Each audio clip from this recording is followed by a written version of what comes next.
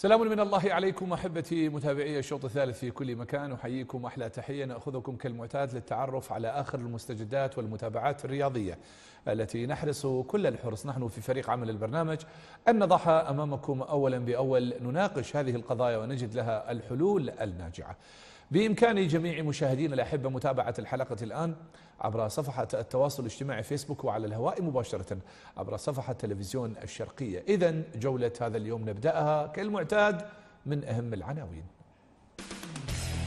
اتحاد الكرة العراقي يعلن اتفاقه النهائي مع نظيريه اللبناني والفلسطيني لإقامة مباراتين وديتين مع المنتخب العراقي بنهاية شهر نيسان الحالي في ملعبي كربلاء والبصرة.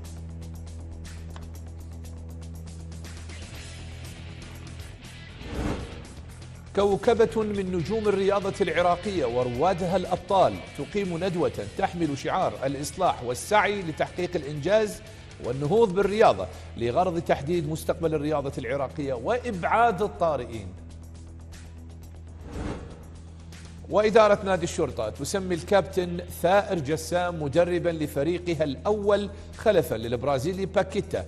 الشوط الثالث يحاور مشرف كرة الفريق والمدرب ثائر جسام حول هذه التسمية.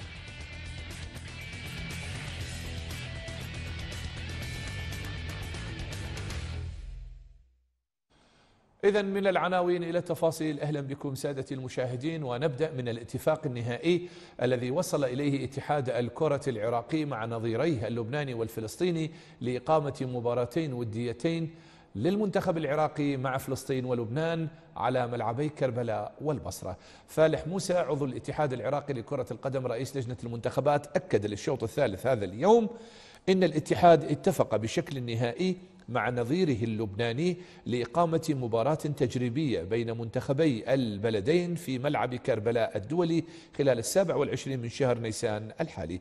وأشار موسى إلى أن المباراة الثانية تم تأمينها للمنتخب ستكون مع نظيره الفلسطيني على ملعب جذع النخلة في مدينة البصرة خلال بداية آيار المقبل. هذه المباريات تأتي في أيام الفيفا دي وتأتي في إطار رفع الحظر الجزئي عن الملاعب العراقية والسعي تماما لإقناع الفيفا برفع الحظر عن كافة الملاعب العراقية.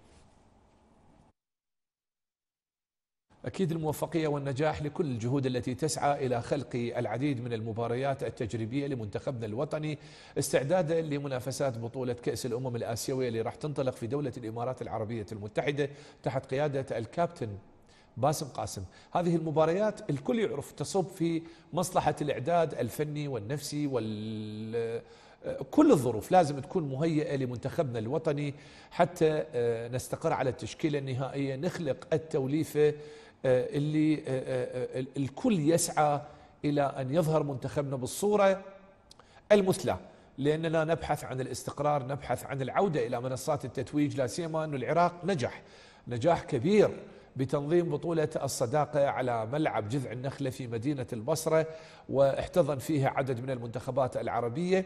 لكن للأسف العراق لم يحرز لقب هذه البطولة. في الوقت اللي كان الجمهور العراقي يبحث عن النجاح في التنظيم ويبحث عن منصات التتويج. نتمنى الموفقية والنجاح إلى كل من يسعى خدمة للكرة العراقية خصوصا والرياضة عموما. أيضا أحبتي المشاهدين يوم الخميس قدم الدكتور محمد قحطان التميمي رئيس لجنة الإشراف على انتخابات اتحاد الكرة استقالته.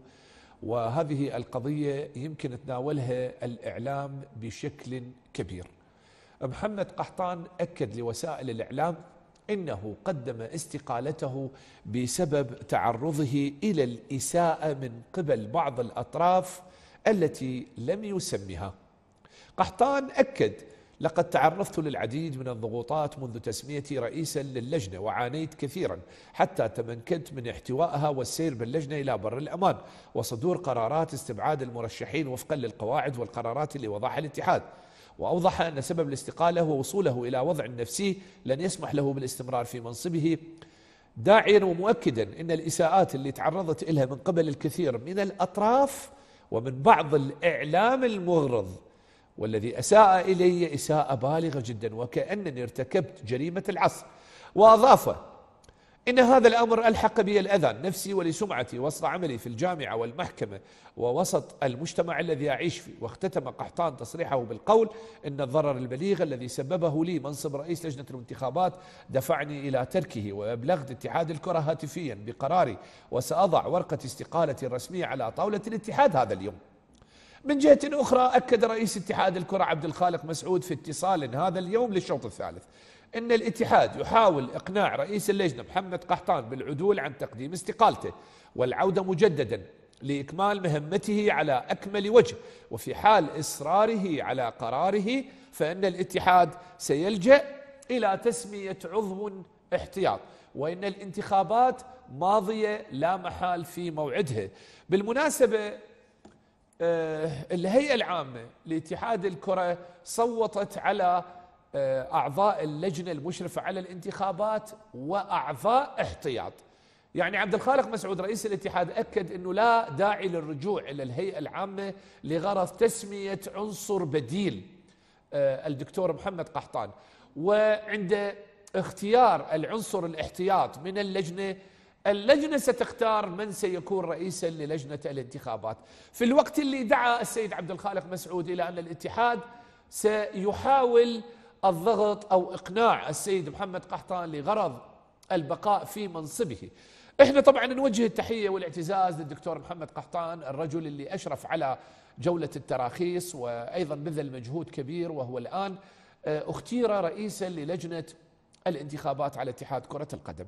لكن دكتور محمد أنت تعرف أننا نعمل حتى نكون منطقيين في حقل الألغام. إذا كنا إعلام وإذا كنا صحافة وإذا كنا في آه، مركز القرار أو إذا كنا لأنه أكو أطراف تسعى إلى إفشال أي مهمة بها فائدة. انتخابات اتحاد الكرة صار عليها لغط صار عليها أمور كثيرة صار عليها آه، شد وجذب. ف وبما أنه أنت عايش في وسط المعمعة أنت أسمى وأكبر من أي ضرر أو من أي إساءة لا قدر الله يوجهها البعض لك أنت تاريخك معروف دكتور محمد وأنت اسم وبالتالي هناك ثقة أعطيت من قبل زملائك القضاة والمحامين اللي تم اختيارهم كأعضاء للجنة الإشراف على انتخابات اتحاد الكرة. وبالتالي لن يؤثر البعض البعض اللي سميتهم من الإعلام أو المحسوبين على الإعلام لأنه إعلامنا دائما ما نعرفه مهني نزيه شريف يحب العراق يدعم كل العمليات الديمقراطية الشفافة. نعم كانت هناك بعض الاختلافات أكو بعض الأمور آه، لكن آه، ما كنا نتمنى أن تؤدي إلى آه، استقالة أو رغم أن الرجل لم يخرج في أي قناة أو وسائل إعلام أو تلفزيوني لقاء تلفزيوني حتى يخلي النقاط على الحروف. وإنما هاي الأخبار اللي نأخذها هي أخبار كلها نشرت في وسائل الإعلام المقروء. أما لقاء وإحنا شخصيا اتصلنا به وطلبنا أن يظهر حتى ولو أضعف الإيمان باتصال هاتفي الرجل رفض وقال أنا ماض في استقالتي. والأسباب كثيرة وأيضا الضغوطات والتهديدات آه، أو الإساءة هو ما قال تهديدات قال ضغوطات أثرت علي وعلى عائلتي لكن من جهة لم يسميها فإحنا بصراحة آه، عند تصديك يا دكتور محمد لهذه المهمة كنا نتمنى أن تكون آه، مثل ما عاهدناك تدافع عن الحق وتدافع عن قضية أنت تصديت لها. فأتمنى أن تظهر وهذه دعوة نوجهها لحضرتك عبر منبر الشوط الثالث أن تكون ضيفا عزيزا كريما لفضح من يريد التآمر من يريد أن يسيء من يريد أن يضع العصا في دولاب أي عملية ديمقراطية العراق يريد ينهض بها هذا اللي إحنا نحب نوجهه مع أمنياتنا القلبية لحضرتك بالموفقية والنجاح. أيضا مشاهدينا الأحبة تداعيات خسارة الزوراء أمام القوة الجوية في مباريات دوري الكرة الممتاز قبل أيام واللي انتهت لصالح الجوية بهدفين لهدف واحد. إدارة الزوراء اعترضت كثيرا على الحكم الدولي هيثم محمد علي اللي قاد المباراة واللي تحدثت إدارة الزوراء إنها غبنت بسبب قرارات الحكم. رئيس الهيئة الإدارية لنادي الزوراء أصدر كتابا وجهه إلى اتحاد الكرة العراقي تلقى الشوط الثالث نسخة منه.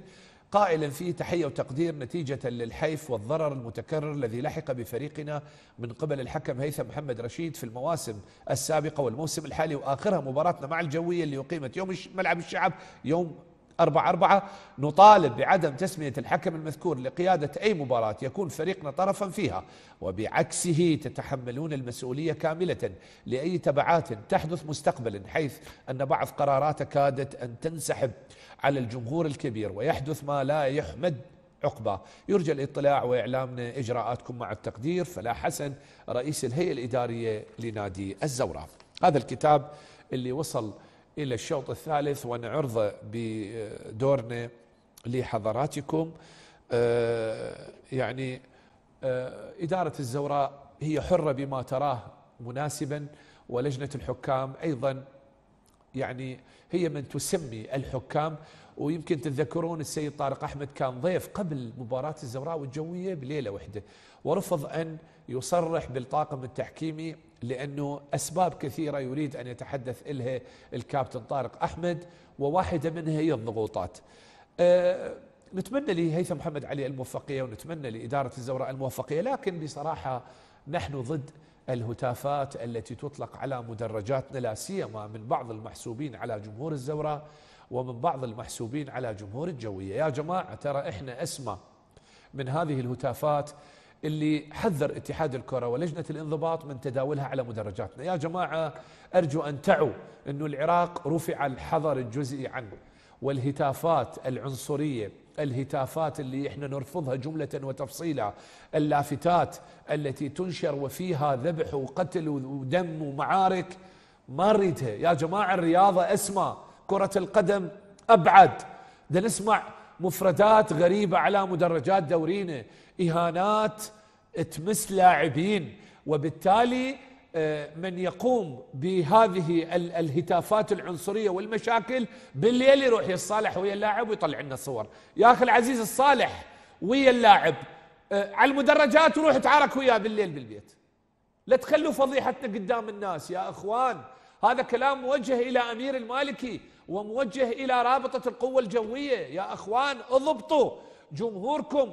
اللي أنا أوجه له التحية والتقدير. جمهور رائع جمهور الزوراء جمهور رائع جمهور الجوية.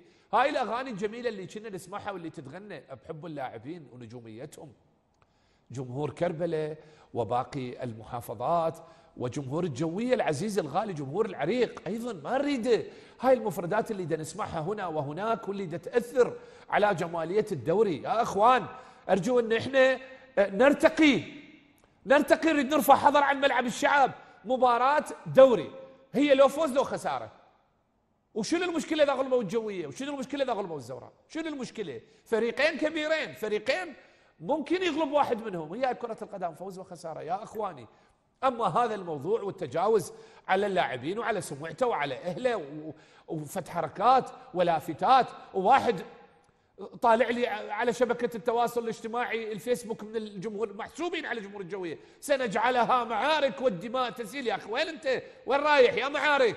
ما هو هذا أخوك من الزوراء. ذول اللاعبين أخوة. فما أعرف اللاعبين ورا اللعبة يطلعون آه، آه، آه، يتحاضنون وواحد يقبل الثاني وانتهى الموضوع وخلص المباراة انتهت. يعني وراها لازم تصير معارك ضروس وطلقات وما اعرف إيش وهذا ليش؟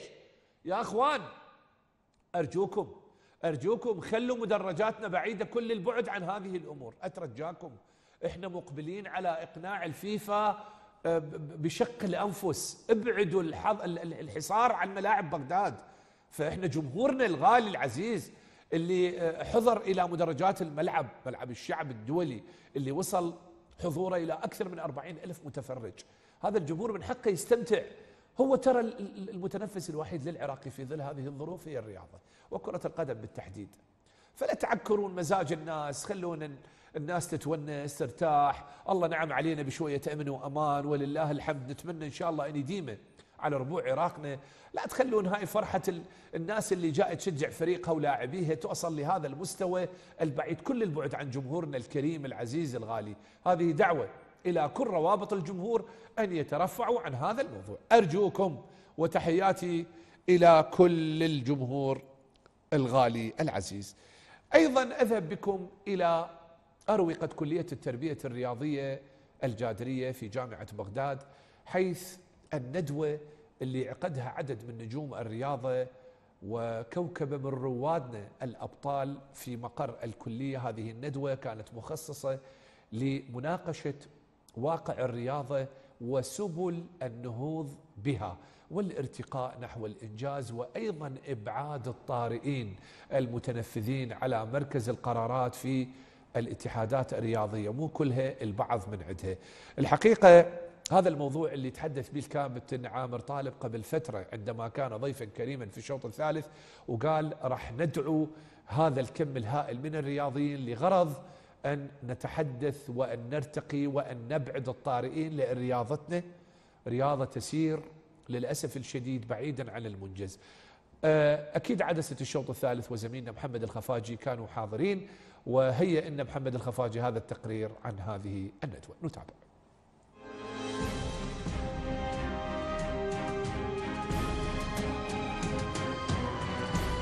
تحت شعار الإصلاح والسعي لتحقيق الإنجاز والنهوض بواقع الرياضة العراقية اجتمعت كوكبة من نجوم الرياضة السابقين وروادها ومن بينهم من هم في موقع المسؤولية باتحادات وأندية رياضية اجتمعوا بندوة موسعة احتضنتها كلية التربية البدنية وعلوم الرياضة في جامعة بغداد. آه، طبعا يعني هذا الملتقى التأسيسي الأول لنجوم ولاعبي المنتخبات الوطنية العراقية. الهدف منه يعني جمع جمع الشتات جمع شتات الأسرة الرياضية الوصول إلى قناعات. نمر في مرحلة صعبة جدا. نحاول قدر المستطاع أن نخرج برؤى موحدة في سبيل الدخول بمفاوضات مع الحكومة بمفاوضات مع اللجنة الأولمبية من أجل صياغة آه، مكتب أو هيئة مؤقتة للمكتب التنفيذي في سبيل آه، الذهاب باتجاه الإصلاح لأن ما نشاهده الآن من وضع للرياضة العراقية لا يسر لا عدو ولا حبيب. تفعيل القوانين الرياضية وآلية اختيار الهيئات العامة في الاتحادات والأندية ومناقشة آلية اختيار الهيئة المؤقتة للجنة الأولمبية هي أبرز المحاور التي تمت مناقشتها خلال هذا التجمع. الخلاف الذي لم يتوقع أحد أن يشغل بال الحاضرين هو التسمية والشرعية التي يجتمع تحتها هؤلاء النجوم فلا توجد صبغة رسمية سوى إنه ملتقى رياضي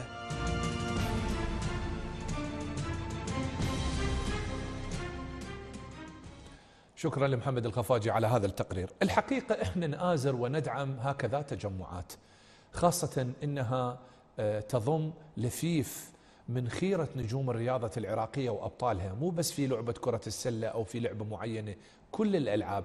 وأعتقد شفتوا اللقطات اللي حاضر بها خيرة الرياضيين الأبطال اللي اجتمعوا تحت آه، آه، منجم ومصنع أبطال الرياضة هي كلية التربية الرياضية آه، في بغداد الجادرية. هذا الموضوع إحنا راح نقف عنده يوم غد بإذن الله تعالى ونفتح الحوار حول هذا الموضوع وندعمه بكل ما أوتينا من قوة لأنه الغرض بصراحة هو آه، دعم الهيئات العامة الفاعلة لا سيما الهيئات العامة التي تولد من رحم الرياضة. يعني للأسف الشديد نشاهد أنه بعض إدارات الأندية أو إدارات الاتحاد الاتحادات الرياضية بدأت تستقطب أعضاء هيئة عامة ما لها علاقة بالرياضة لأغراض انتخابية لأغراض دعائية لأغراض آه، آه، تدعيمية وهذا الحقيقة ما شاهدناه لا يمكن لاتحاد آه، يقود رجل رياضي وأعضاء مجلس الإدارة الباقين وأعضاء الهيئة العامة ما لهم علاقة بالرياضة لمجرد إنهم آه، يعني أكو أكو بعض الأمور اللي إحنا ما نريد ندخل في تفاصيلها لكن راح نضطر نحكي بها. عموما أيضا زميلنا محمد الخفاجي أجرى بعض اللقاءات مع عدد من الأبطال الرياضيين لكن بطلتنا الكبيرة آه، في ألعاب الساحة والميدان ميساء حسين تحدثت إلى قضية في غاية الأهمية هو لجوء الرياضيين إلى السياسيين لغرض آه، البحث عن دعم البحث لحل مشكلة. يا جماعة نريد نبتعد عن السياسة. الرياضة ما لها علاقة بالسياسة. الرياضة آه، آه، شيء جميل شيء رائع شيء يتمتع بمزايا ما نريد ندخل السياسيين بيها. فأترجاكم يا نجومنا يا رياضيين الرياضي باقي السياسي راحل يجي سنة سنتين أربعة دورتين مرات يبقى بس يروح وينسي. اللي يبقى هو رمز الرياضة تاريخه إنجازه. الآن الراحل عبد الواحد عزيز الله يرحمه من الستين إلى الآن. نذكره بخير لأن جاب وسام أولمبي للعراق في بطولة روما الأولمبية. إلى الآن يذكر بخير الله يرحمه. أما سياسي ما اجانا سنتين وثلاثة في غفلة من الزمن وراح إحنا مشلبين بيه وتعال حللنا. هذا الموضوع اللي إحنا ما نريده ولا نريد نوصل له. عموما نتابع ما قال النجوم الأبطال لعدسة الشوط الثالث.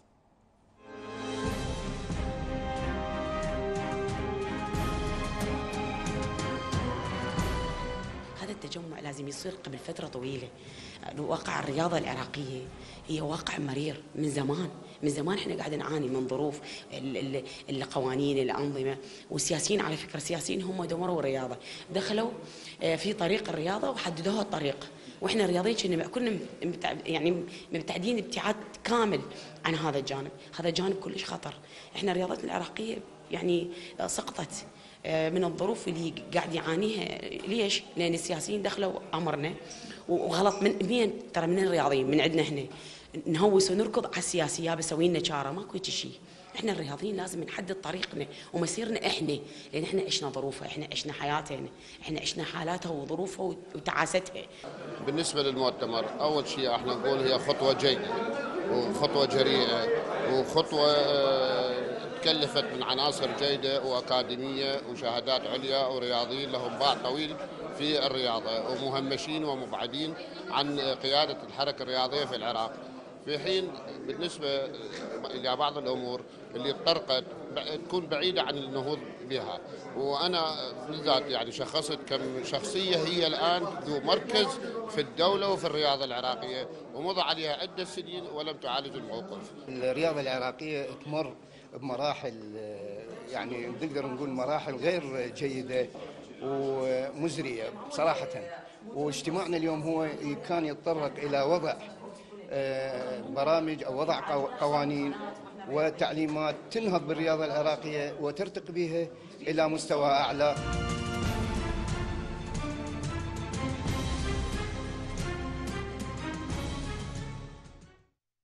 إذا شكرا لكل المتحدثين. وفعلا الكابتن ميساء تحدثت في صلب قضية نعاني من عدها هي قضية ركوض البعض على السياسي وقال له تعال حل لنا مشاكلنا. السياسي عمره ما خدم غير نفسه. وهاي التجربة اللي شفناها إحنا على مدى كذا سنة. عاشها العراق والدليل رداءة في كل شيء. فأرجوكم يا رياضيين أنتم رموز أنتم كبار بإنجازاتكم بواقعكم بأسمائكم أرجوكم آه، آه، أتمنى أن تدعم هذه الندوة وأن تدعم مطالب هذه الندوة لأنه إحنا بحاجة إلى تشكيل لجنة من الخبراء من الرياضيين من الأبطال لغرض تقييم واقع العمل والاستفادة من خبراتهم هذا اللي نتمناه يوم غد بإذن الله راح نفتح الأبواب على مصراعيها في هذه القضية. أيضا نذهب من ضمن متابعاتنا لهذا اليوم إلى مباريات بطولة كأس الاتحاد الآسيوي إذ وصلت بعثة فريق القوة الجوية حامل لقب بطولة كأس الاتحاد الآسيوي إلى العاصمة الأردنية عمان على بركة الله وحفظه. الفريق الجوي العراقي أدى وحداته التدريبية استعدادا لملاقاة الجزيرة الأردني في مباريات إياب المرحلة الثانية من بطولة كأس الاتحاد الآسيوي. هذه المباراة ستقام يوم الثلاثاء في محافظة إربد على استاد الأمين الموفقية إلى فريق الزوراء اللي راح يلعب مباراة الإياب مع شقيق العهد اللبناني في ملعب كربلاء الدولي. الموفقية والنجاح لسفيري الكرة العراقية في كأس الاتحاد الآسيوي الجوية والزوراء في هذه المباراتين.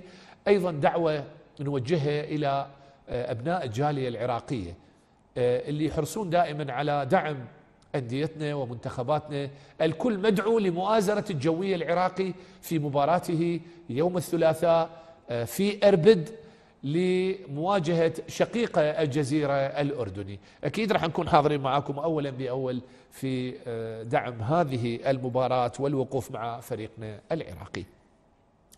أخيرا سادتي المشاهدين آه، قررت إدارة نادي الشرطة الرياضي آه، تسمية المدرب الكابتن ثائر جسام مدربا لفريقها الأول خلفا للمقال البرازيلي باكيتا. إدارة نادي الشرطة اتخذت هذا القرار بتسمية ثائر جسام فور تعادل الفريق آه، يوم الجمعة الماضي أمام البحري ضمن منافسات دوري الكرة الممتاز بعد أن تعادل بهدف لمثله. سوء نتائج الفريق آه، جعلت إدارة النادي تفاتح الكابتن ثائر جسام اللي سبق وأنقاد فريق القيثارة للقب بطولة الدوري في الموسم 2014 والرجل سيلتحق ببعثة الفريق الشرطاوي وسيكون متواجد في بغداد بشكل رسمي لغرض توقيع العقد وتفاصيله وبالتالي سيباشر بقيادة الفريق في وحداته التدريبية. الموفقية والنجاح للكابتن ثائر جسام وأيضا لإدارة نادي الشرطة اللي عانت معانته خلال المباريات الأخيرة لا سيما النتائج التي لا تليق بمكانة فريق الشرطة وجمهوره. الحقيقة كان من المؤمل أن يكون معنا النجم الكبير سعد قيس وهو مشرف كرة فريق الشرطة ضيفا كريما لكن زحمة بغداد وكان الله بعونه البغداد آه، أبعدت الكابتن آه، من الحضور وبالتالي راح نضطر ناخذ اتصال هاتفي من بغداد الحبيبة وعلى الهواء مباشرة ينضم معي في اتصال هاتفي. الكابتن سعد قيس مشرف كرة نادي الشرطة. مرحبا بك كابتن سعد ضيفا كريما في الشوط الثالث عبر الشرقية نيوز أهلا وسهلا بك أستاذ محمد وأنا سعيد. بتواجدي وياكم اليوم. والله إحنا مشتاقين لك كنا نتمنى أن تكون معانا وجها لوجه حتى الناس تشوفك كابتن. أعتذر جدا أعتذر جدا مثل ما تطرقت حضرتك. الله سهل يعني تقريبا أكثر من ساعتين بالشارع الله يكون يعني أنا آسف جدا آسف جدا. الله يسلمك. إن شاء الله لقاءات مستمرة بإذن الله كابتن. إن شاء الله. كابتن سعد قيس آه، اولا نبارك لكم اختيار الكابتن ثائر جسام اللي نتمنى أن يكون عودته عودة موفقة. وثائر جسام ليس بالغريب عن الكرة العراقية الأندية العراقية وبالتالي حتى عن نادي الشرطة وعن سعد قيس. يا ريت نتحدث عن التفاصيل آه، اللي اتخذتها الإدارة الشرطاوية بالتعاقد مع الكابتن ثائر جسام. يعني تعرف أستاذ محمد إحنا في في بداية عملي مع نادي الشرطة كان أكو اتفاق إنه أسماء أسماء محددة حبينا نطرحها في سبيل إنه يكون الانسب لتدريب نادي الشرطه مثل ما تعرفون كان باسم قاسم كابتن باسم قاسم من اولويات النادي لكن مثل ما تعرف يعني موضوع اعارته من الاتحاد كان بها بها صعوبة. آه، ولذلك ولذلك هاي هذا الموضوع ما صار الصراحه نعم. آه، فكان فكان فكان بعد باسم قاسم كان المفروض إنه إحنا ندور على مدرب ويعني بالتأكيد هم جلسنا إحنا كهيئة إدارية فكرنا بعدة أسماء وأخيرا وقع الاختيار على الكابتن ثائر آه، جسام. نعم. كابتن سعد آلية التعامل مع ثائر جسام سعد قيس المبتعد عن العراق لكن حبه وعشقه إلى فريق الشرطة وإلى الكرة العراقية أعادت به من جديد لقيادة فريقك الأم الفريق الذي تدرجت للنجومية عبر أبوابه آه، كيف سيتم التعامل؟ كيف سيتم؟ آه، يعني آه، ثائر جسام بالتأكيد هو ليس بالغريب على سعد قيس لأنه أعتقد أكو أكو خبرة تجمعكم أيام المنتخبات الوطنية. فيا ريت نتحدث عن وصول الكابتن ثائر وأيضا آه، تعامل سعد قيس مشرفا لكرة الشرطة مع ثائر جسام. بالبدايه طبعا إحنا بعد مباراة آه، البحري آه، الإخفاق اللي بالتأكيد إحنا كنا نعتبره إخفاق لأنه انت أنت فريق فريق الشرطة بحجم نادي الشرطة بما يمتلك من تاريخ وسمعة ولاعبين. أنا أنا أول ما وصلت لبغداد قلت إنه نادي الشرطة الفريق الوحيد اللي هو عنده 22 لاعب أساسي 22 لاعب قادرين على إنه يكونوا بالمنتخب العراقي. آه، بالتأكيد بالتأكيد إحنا نبحث عن الأصلح. الأصلح من اليوم اليوم نادي الشرطه يمر بازمات وأنت مثل ما تعرف أستاذ محمد الأزمات مو بس مو بس أزمات فنية اللي لكنه هي الأزمات المشاكل الكثيرة القضايا والمحاكم. هاي نعم. الأمور بالتأكيد أثرت على اللاعبين أثرت على إداء الفريق. لكنه إحنا دائما نفكر بالافضل وبالاحسن. ولذلك يعني إحنا آه، مثل ما قلت لك بعد ما احققنا الحصول على خدمات باسم قاسم آه، فكرنا بشكل كبير على أنه نختار اسم اسم آه، كذلك كبير يكون لتدريب نادي الشرطة. ثائر جسام مثل ما تفضلت حضرتك هو كان مع نادي الشرطة وعميل بالدوري العراقي ويعرف أغلب اللاعبين. يعني ما نقدر نقول عليه غريب عن الدوري العراقي مثل ما هو سعد قيس أنا بالنرويج ولكنه أنا قريب جدا. من نادي الشرطة وأكثر اللعبات كنت حاضر حاضرها أشوفها بالتلفزيون كانت على تواصل مع إدارة الشرطة. ف ف واللي صار اللي صار مثل ما قلت لك إنه إحنا تم الاتفاق مع الكابتن سعد جسام وإن شاء الله إن شاء الله هو اليوم راح يكون وصوله. هي ماكو شيء جديد يعني كما مثل ما أنت تعرف بأي عقد يصير مع أي مدرب هناك نقاط راح يتم تثبيتها بخصوص عقده لأنه تعرف أنت راح نجي إحنا حاليا راح يدرب الفريق. فيما تبقى من الدوري. نعم. فهو هو مثل ما قلت لك هو اسم كبير وهو سبق وانحاز على على الدوري مع الشرطة. فبالتأكيد راح يكون حاله حال أي مدرب طيب. كابتن سعد قبل ما أنتقل لأن عندي أيضا اتصال مع الكابتن ثائر جسام أيضا اللي راح يكون أول ظهور له في برنامجنا وإحنا دائما ما سباقين في قلب الحدث. كابتن سعد باختصار الجمهور الشرطاوي غير راضي تماما عن أداء اللاعبين وعن أداء الإدارة لأنه لا يمكن لفريق الشرطة بهذا الكم وبهذا الدعم وبهذه المبالغ الطائلة أن يكون بهذا المستوى ويكون بعيد عن منصات التتويج، فماذا يعني توجه لهم كلمة كابتن؟ نعم. بالعكس أنا جمهور الشرطة جمهور قريب إلى قلب سعد قيس علاقتي بهم جيده بالامس بالأمس كنت في احدى المحطات الفضائية. نعم. أساءوا فهمي صراحة أساءوا فهمي أساءوا آه، لطرحي. أنا أنا جدا قريب من جمهور الشرطة واحد جمهور الشرطة. لكن المشكلة اليوم أنت لما لما تشوف النتائج سيئة بالتأكيد الجمهور يزعل. بالتأكيد الجمهور يغضب على الإدارة وعلى اللاعبين. يعني طالما الجمهور يشوف إنه الفريق تسعه لاعبين منتخب ويجي يتعادل مع البحري فبالتاكيد أكو مشكلة أكو خلل. لكنه أنا بالأمس قلتها الجمهور الشرطاوي الأصيل اللي نادي الشرطة المطلوب إنه يدعم الفريق يساند الفريق الفريق ما زال في المركز الثاني وينافس على الدوري باقي 17 مباراة. الجمهور جمهور الشرطة جمهور وفي عانى ما عانى. لكنه نعم. القلة القليلة القلة القليلة أستاذ محمد القلة القليلة اللي يعني بحث فرقت في هذا الموضوع. القلة القليلة هي من اساءت لهذا الجمهور الكبير الوفي اللي اللي اللي أنا أعتبره بالفعل عامل كثير بسبب هذه المشاكل. القلة القليلة اساءت لهذا الجمهور يعني أنا تالمت جدا تالمت جدا في مباراة البصرة بعد ما تعادلنا. يعني حتى وصلت ببعض المسيئين لجمهور الشرطة وأنا ما أحسبهم على جمهور الشرطة. يعني حتى تكرم إنه يخلطون اللاعبين بالأحذية. هذا نعم. الشيء يعني أنا أتصور نعم. إنه هذا الشيء يسيء إلى جمهور الشرطه الأصلي والحقيقي واللي هو يحب الفريق ويدعمه وإحنا بالتأكيد أنا أتمنى من جمهور الشرطه وهي رسالة عبر قناتكم انه نعم. الجمهور لازم يتحمل لازم يصبر إحنا أكيد أكو تغييرات وجود سعد قيس ابدا ابدا ما كان راح يكون لصالح طيب. شخص معين أو إدارة بالعكس أنا أنا جاي حتى أغير اكو أكو أفكار كثيرة في بالي لكن إحنا نطلب من الجمهور شوية صبر نعم. كابتن سعد عندي سؤال قبل أن أختم هذا الاتصال مع حضرتك وأرجو أن ترد عليه بصراحة.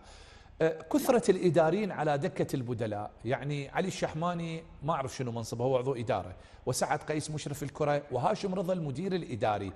أه، كثرة الإداريين ما راح يأثر على مركز القيادة على المدرب على الأداء؟ يا ريت تخلينا في هذه القضية اللي هواية ناس حكوا بها كابتن سعد.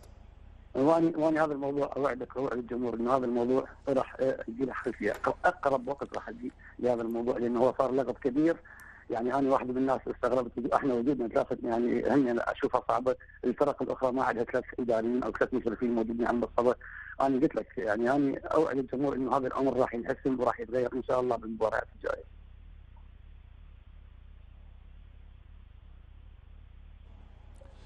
كابتن سعد قيس أنا أشكرك جزيل الشكر على تواجدك معي في هذا الاتصال. أتمنى الموفقية والنجاح لمهمة الكابتن ثائر جسام.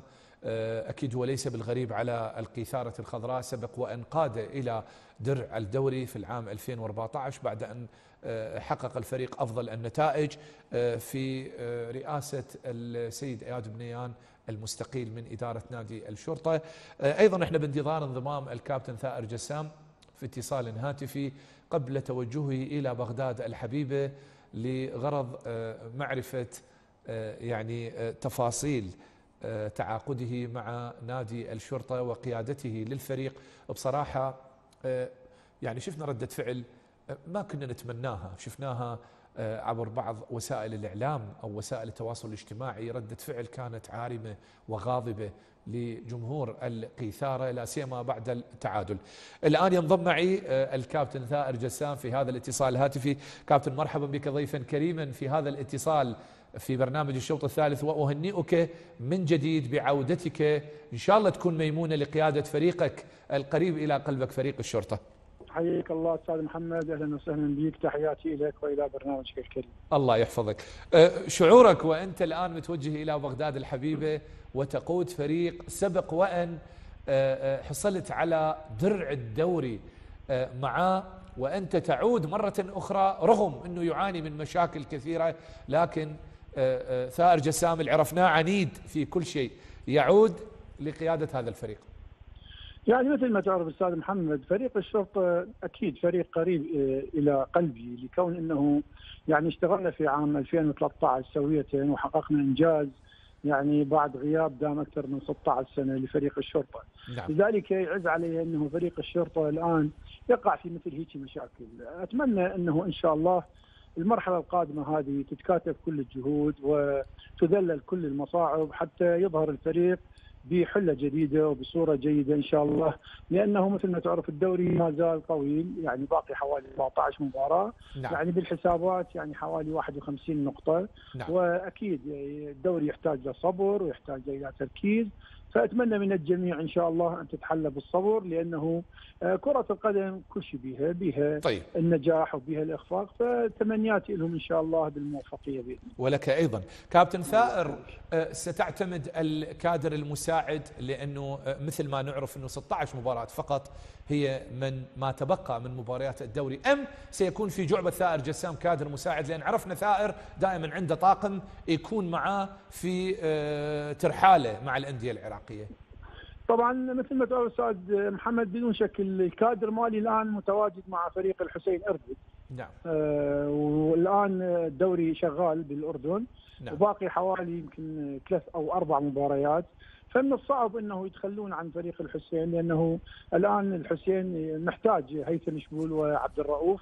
نعم. لذلك ارتئيت إنه راح يكون هاي الفترة إن شاء الله مع فرقهم. بإذن الله. على أمل إنه بالقادم إن شاء الله طيب. كل حادث حديث. أنت الآن متوجه على بركة الله باقل من دقيقة. كلمة إلى جمهور الشرطة اللي تنتظر ثائر جسام بفارغ الصبر كابتن أبو حنين. والله مثل ما تعرف أستاذ محمد جمهور الشرطة جمهور يعني قريب إلى قلبي وعزيز علي.